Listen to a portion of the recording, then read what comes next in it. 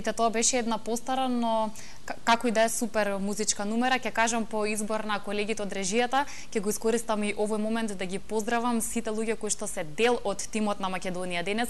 Вие не ги гледате, тие се позади камерите, но задоволство е секој ден да се соработува со нив се со цел крајниот производ да биде онаков каков што вие го гледате пред малите екрани. Тука е време за нашата последна тема, исто така интересна, многу креативна, нешто што во секој случај е корисно и актуелно во текот на овие летни денови. Ќе ве запознаеме малку подетално со летниот универзитет, летниот универзитет на ФОН и младинските активности на АЛДА во Македонија. Сите детали ќе ги дознаете од моите последни денес, денешни соговорнички, па тука некаде ќе им посакам да добре дојде на Ивана Петровска, која е директор на подружницата на АЛДА во Скопје и доктор Силвана Јовческа, професор на Универзитетот ФОН и координатор на Центарот за кариерен развој. Добро дојдовте во Македонија денес. Добре. Да. Драго ми е. Драго ми е дека имаме убава и интересна тема на разговор. Летото е да време за одмори, но може да биде и корисно и креативно, да значи нови познанства, стекнување на нови знаења и така натаму. Сето тоа ќе го споделите со нас. Па ете да започнеме пред се од летниот универзитет на ФОН, што тоа значи, какви ќе бидат темите кои се ќе може да учествува во ова случување. Да, токму така, оваа недела всушност го започнавме тој летен универзитет кој што го организираме за прв пат во соработка помеѓу Универзитетот ФОН и организацијата АЛДА. само накратко за АЛДА, АЛДА всушност представува организација која што е европска организација, опфаќа над 300 членки од 35 земји и со тоа што ние имаме среќа во Македонија имаме на таква подружница која што веќе функционира неколку години. ова лето ние е пред се во знакот на младинските активности. Најзначајната активност ни е токму овај летен универзитет. Ја избравме, за тема на овој летен универзитет, ја избравме темата сеќавање и меѓукултурен диалог. Оваа тема ја избравме бидејќи веќе неколку години работиме на тема сеќавање, односно remembrance на англиски, сеќавање и а, како да се поттикне мир а, и помирување пред се на Балканот, бидејќи имаме учесници од Балканот и од Франција. Значи, на овој летен универзитет учествуваат 30 млади луѓе кои што имаат се на возраст од 20 до 25 години, сите студенти од Македонија, Франција, Босна, Хрватска, Албанија, Косово, Србија, Црна Гора и така натаму. И имаат започна летниот универзитет во понеделник понеделникот веќе пет, односно пет дена ќе трае. И за текот на овие пет дена ќе имаат многу предавања, работилници, посети баш на оваа тема сеќавање и меѓукултурно разбирање. Да, секогаш го поставувам тоа прашање дури кога младите самите се дел од оваа емисија, колку всушност и тие и кај нив има интерес и желба да бидат дел од вакви настани, кои што можеби не се во нивната редовна образовна програма, меѓутоа во секој случај допринесуваат за нивни нови искуства, нивни нови познанства, прошируваат проширување на знаењата. Па ете сега кој е вашиот впечаток? Дали сепак има доволно млади заинтересирани да учествуваат на ваков настан, па баш и со ваква би рекла да. убава и корисна тема за нив? Да, да, да, се повеќе младите во последно време разбираат дека не е само до формалното образование, mm -hmm. кој се разбира и многу важно и не треба да се занемари, меѓутоа се повеќе универзитетите нудат а, не само она формално образование, туку многу повеќе активности, може да. тоа да биде за време на учебната година, може да биде во летниот период. Летниот период секогаш е исполнет со такви младински активности, меѓутоа треба да се понуди а, програма која што е малку различна од основната. Значи да не биде дека младите се осеќаат дека нивната учебна година или студентска година завршила на 30 јуни, па сега повторно се наоѓаат во а, универзитетските клупи. Значи тоа треба да биде направено на еден поинаков начин и тогаш се разбира има а, има интерес од страна на младите. Токму затоа и нашиот нашиот флетен универзитет е всушност комбинација од предавања, оние класични предавања, меѓутоа со малку повеќе дискусија, бидејќи тоа се скокотливи теми да се зборува за минатото, да се зборува за конфликти, како да се надминат сите тие. Значи, интересни се темите, меѓутоа треба да се развива дебата. Меѓутоа, она што е поинтересно е теренскиот пристап. Значи, денес младите кои што учествуваат во школата се на посета на музеите во, mm -hmm. во Скопје. Значи, посетуваат три музеи и имаат интерактивни вежби. Значи, не се само како слушатели, туку треба активно да учествуваат да. во процесот. И се разбира, еден голем и многу важен дел е дружењето. Значи имаат прилика да се запознаваат со луѓе кои што не го зборуваат нивниот јазик, со кои што не делат секојдневие и сето тоа е многу интересно за нив, така да имаат една богата вечерна програма, да речем, со кареоке, шетање низ Скопје, mm -hmm. активности меѓу нив, сето тоа самите си го организираат. Да, убаво е кога има и релаксација да. и забава и сето тоа да да биде на да. едно уште подобро ниво за нив. Сакам да ве прашам од каде потекне таа идеја конкретно за соработка помеѓу Алда и помеѓу Универзитетот фон. Ето зашто токму оваа соработка и зашто токму ваши предпоставувам студенти да бидат дел од настанот. Па така, Фон универзитет, како што е познато на јавноста, како во Македонија, така и пошироко, од секогаш се грижи за професионалниот развој на своите студенти и додека се во студиските години, и додека се наши студенти и отпосле. Така што соработката со Алда ја потекнавме токму поради таа причина.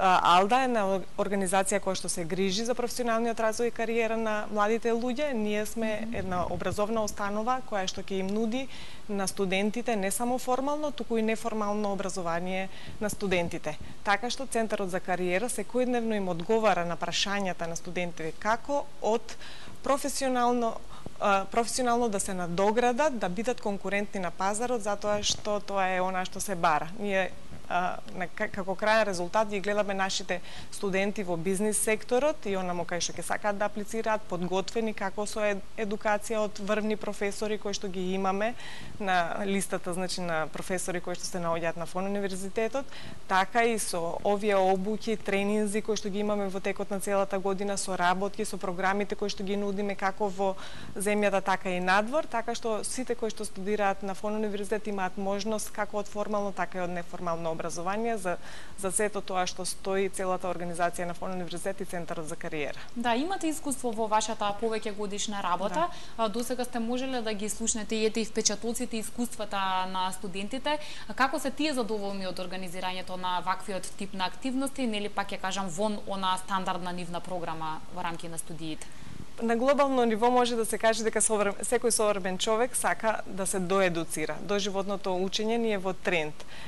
Не, не постои ниту еден студент кој што не сака да посети курс, кој што не сака да излезе од државата. Фон универзитет постојано тоа го нуди. Само што заврши школата во Валенсија, поминавме на школата со Франција ќе заминеме и на некои други школи. Така што сите студенти кои што се наоѓаат во нашите во нашиот универзитет имаат можност за патувања, размени, дружења, до едукација и директна комуникација со бизнис секторот што е многу важно за нивно идно вработување. Сите она што го говорат тогаш кога ќе го завршам моето високо образование, сепак да сум подготвен за да влезам нели во да. процесот да. на работа и да бидам конкурентен на на пазарот. уште малку да позборуваме за работата на Алда, би ве прашала за она што што барем до сега сте го организирале на меѓународен план.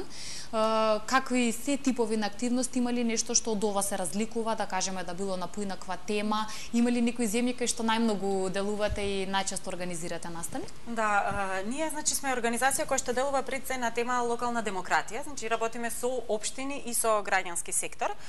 Сега се задржавме на младинските активности бидејќи да. ова лето го одбележуваат. Јас би додала само во однос на неформалното образование на младите луѓе зашто се битни вакви универзитети, а, пред се не само за стекнување на нивното знаење, туку и на нивните вештини, бидејќи им даваме можност самите да организираат нешта. Дури и некои наивни активности како е организирање на една вечер за 30 луѓе, може би изгледаат а, незначајни, меѓутоа кога младите луѓе се соочени со таа активност, самите стекнуваат вештини, стекнуваат вештини да зборуваат на странски јазик, стекнуваат лидерски вештини бидејќи треба да работат во група и сето тоа се постигнува со еден ваков вид на активности.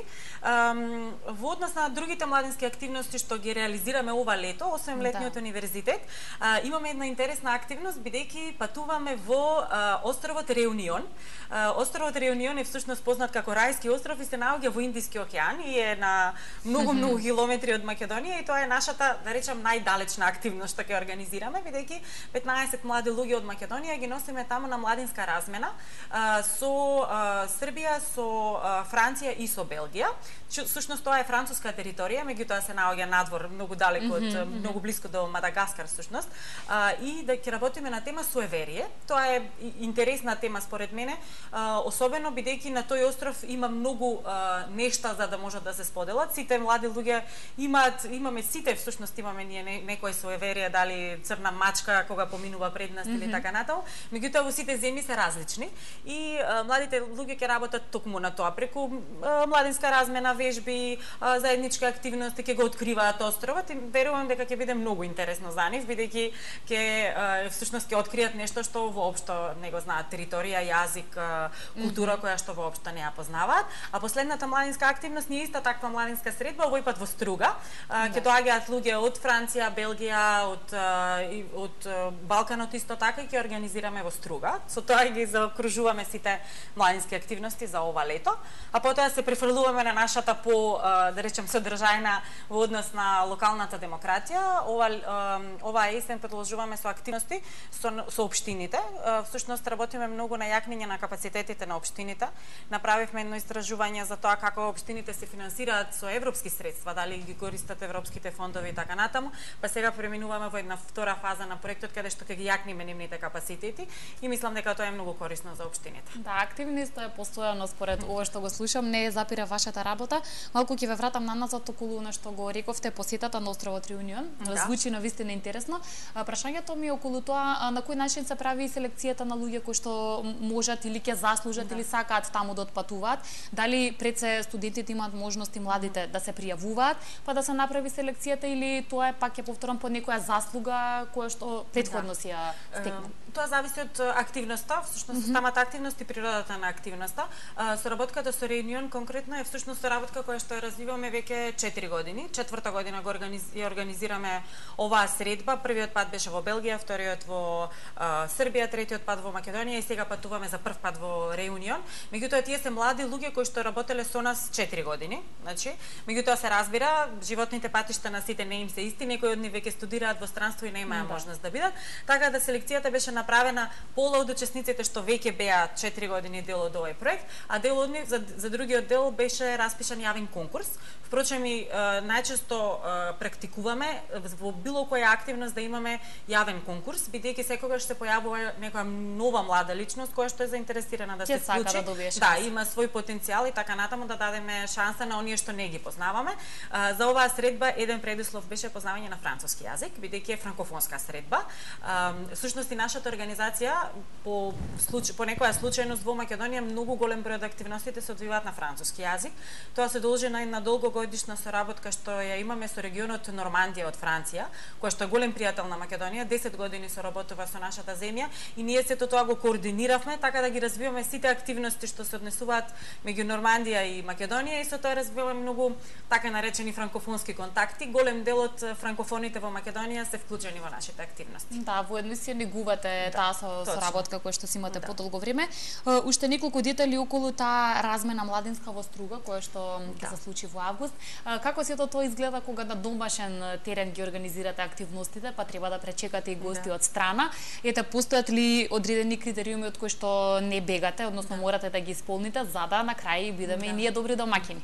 Да, на, на нај најбитна работа ни е секогаш безбедноста. Значи, бидејќи се работи за млади луѓе, иако се најчесто полнолетни од 18 до 22 години, многу обрнуваме внимание тие да бидат безбедни, бидејќи младите луѓе, мислам, имаат и посебен живот и ноќен живот, се обидуваме да најдеме баланс помеѓу нивните желби што сакаат да прават и дисциплината, да речам. Многу интересно, секогаш кога организираме активности во Македонија, е секогаш е нова приказна. Јас веќе 8 години веќе работам во Алда и неколку години се занимаваме со тоа и секогаш имам чувство е па сега ќе го правиме истото, меѓутоа секогаш е различна приказна. Дали е тоа различна тема, па треба да се надградуваме раз за различна тема, да бараме аниматори, професори, учители и така натаму, тренери кои што се занимаваат со таа тема, да прочитаме за да за да го организираме сето тоа. Некогаш е нова локација, нова дестинација, значи треба да се адаптираме дали тоа е Струга, Берово, Битола, Скопје и така натаму секогаш во различна активност. А, треба да видиме што ги интересира младите пред се, бидејќи младите се специфична публика, не може да им се понуди нешто што ние сметаме. Mm -hmm. Тешко Кога, човек да, да ги освои, точно, да им го задржи вниманието. Точно, може би предходно ми, ни беше полесно бидејќи ние спаѓавме во таа категорија, меѓутоа како поминуваат годините, многу брзо се менуваат и желбите на младите луѓе, особено со нова технологија, нели смартфони и така натаму. Да. Не ни интересираат истите работи што ни интересирале пред 5-6 години, така да многу а, треба да адаптираме програмата со нови технологии што ни ги интересира, што тие сакаат да прават. И сето тоа е вежба сама по себе, да да најдеме што сакаат и да им го понудиме тоа. И пред се да бидеме добри домакини, бидејќи секогаш програмите мора да вклучуваат посета на нашата земја, дали тоа тоа е градот во кој што сме сместени, значи еден ден остануваат во Скопје, об, обавезно ги шетаме низ Охрид, бидејќи тоа минатата година на пример имавме луѓе од Реунион што дојде и тоа сигурно имаат една единствена можност да да дојдат во Македонија и тоа ќе им биде животно искуство сушто. Да, имаме многу убавини кои што треба да. и да си ги негуваме, па ети кога ќе дојдат гостите да им ги доближиме, да им ги представиме, несомнено дека ќе се заљубат во нив, јас верувам искрено дека е така. Имаме уште неколку минути до крај на разговорот. Фон универзитет секако дека веќе е доволно познат на јавноста, него и неговата работа. Верувам дека и посебно оние кои што сега допрва треба да бидат студенти во новата учебна година, се информираат околу се она што е ваша работа и ваши студиски програми. Меѓутоа, ете, кои се накратко условите за студирање на вашиот универзитет, како очекувате да помине за вас и новата учебна година, дали веќе се најавени и се пријавуваат доста голем број на студенти? Вака интересот за упис на фон универзитетот секогаш бил на завидно ниво. Можеме да се пофалиме со една голема бројка на студенти, дипломирани веќе високи професионалци кои што сте на врвот на бизнисот, на врвот на државата и така натаму, кои што излегуваат од нашите кругови. А, значајно е да се забележи дека фон универзитет направи многу во намалување на школарината во однос на партиципација на бизнис секторот во уплатата на школарината. Така што а, значајно е да се забележи дека е, само 300 евра е семестар за студирање на фон универзитет за сметка на она што беа бројките од минатото. Така што верувам дека тоа е изедначено веќе и со државните универзитети, така што секој што има интерес да студира на нашиот престижен универзитет, мислам може да си го дозволи. Тука ни е и студентскиот дом со а, прекрасни услови, студентите се задоволни затоа што ќе можат да бидат многу близко до сами да, едноставно да си живеат на самиот универзитет во едниот дел ни е студентскиот дом со прекрасни услови, во другиот дел ни е значи добро опремени предавални, професионални предавачи, обуки постојано, патувања, активности. активности неформални и така натаму, така што верувам дека секој што има желба да го продолжи образованието во Република Македонија, овде може да најде вистински услови за тоа. Да, тука сте присутни на интернет секако, да, социјалните мрежи, социјалните мрежи, да, ваши страници каде што оние што се уште може би не одлучиле, можат може да, да се да се информираат. на фон МК, да се обратат во нашите во просториите на фон универзитет кој што го има во Скопје, Струмица, Струга, така што службите ќе им објаснат се, тука сме ние професорите да им објасниме поконкретно за програмите, за се што ги интересира, постојано сме достапни на модерните социјални мрежи како Инстаграм, mm -hmm. како Фейсбук и така натаму, така што информации можат да најдат во секаде, време. во секое да. време. Ви благодарам многу за сите овие убави нешта кои што ги споделивте со нас во рамки на овој разговор. И ете ги запознавме нашите гледачи што ќе биде дел од вашата работа ова лето, летниот универзитет и младинските активности на Алда Македонија. Ќе ви посакам убаво сите овие активности да поминат и успешно, па со се она ново што ќе го организирате повторно, ќе се видиме во Македонија. Македонија денес. Благодариме. Ви благодарам многу. Да, со ова ќе го заокружиме денешното издание на Македонија денес.